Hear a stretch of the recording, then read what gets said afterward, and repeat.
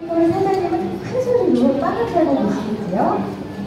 통일시장 정자에서는 할아버지, 할아버지들이 모여앉아 가족들이가 한창이에요. 야채가게 아줌마는 삼천원어치 상추를 팔기 위해 정상을 정리하겠고요. 푸른마트 언니도 계산기를 두드리며 일이 최근까지 하고 있어요.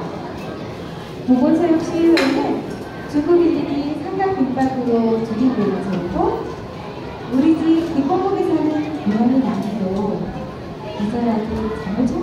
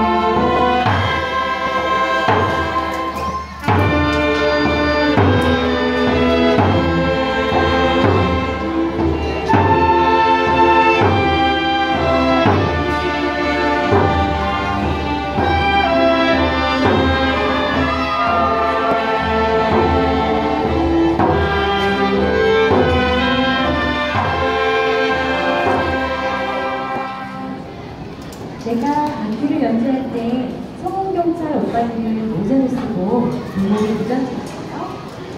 병수이들 숙제 중이를 있는데 밖에서 사이렌 소리가 난대요.